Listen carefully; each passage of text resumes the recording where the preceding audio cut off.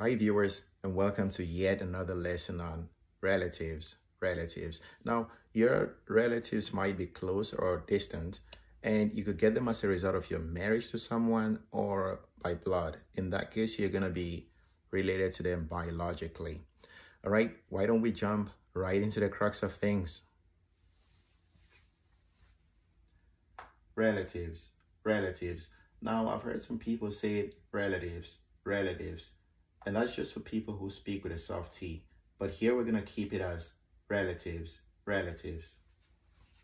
Mother, mother, father, father, husband, husband, sibling, sibling, children, children, son, son, daughter, daughter, brother, brother, sister, sister, cousin, cousin, nephew, nephew, niece, niece, in-law, in-law, uncle, uncle, aunt, aunt, or you might hear some people say aunt, aunt, parent, parent, grandmother, grandmother, stepsister, stepsister, half-sister, half-sister,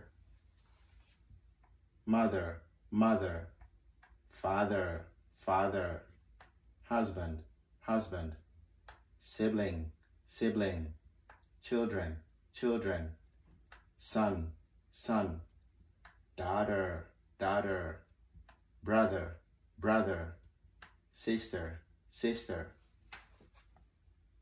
cousin, cousin, nephew, nephew, niece, niece, in-law, in-law, uncle, uncle, aunt, aunt or aunt, parent, parent, grandmother, grandmother, stepsister, stepsister, half-sister, half-sister.